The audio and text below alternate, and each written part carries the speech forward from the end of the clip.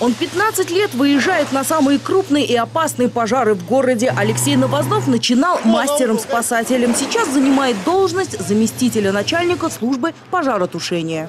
Было принято решение производить тушение пожара снаружи здания. Этим летом в составе бригады 01 Алексей Новознов принимал участие в ликвидации лесных пожаров в Мордовии. Жаркая командировка длилась три недели. Я низко кланяюсь вам и говорю вам огромное спасибо, мои коллеги. Спасибо вам.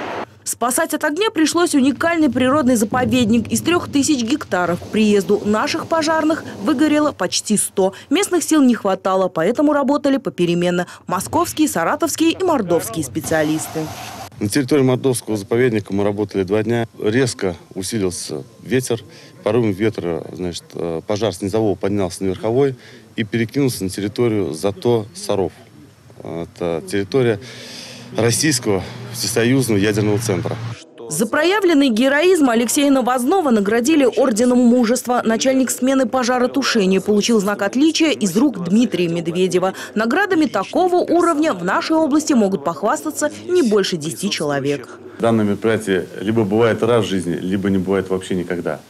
То есть, естественно, это большой груз ответственности, Помимо ордена у Алексея Новознова есть еще три медали за отвагу на пожаре и две за отличие в ликвидации ЧС. Государственная награда из рук президента – первая и самая дорогая для пожарного.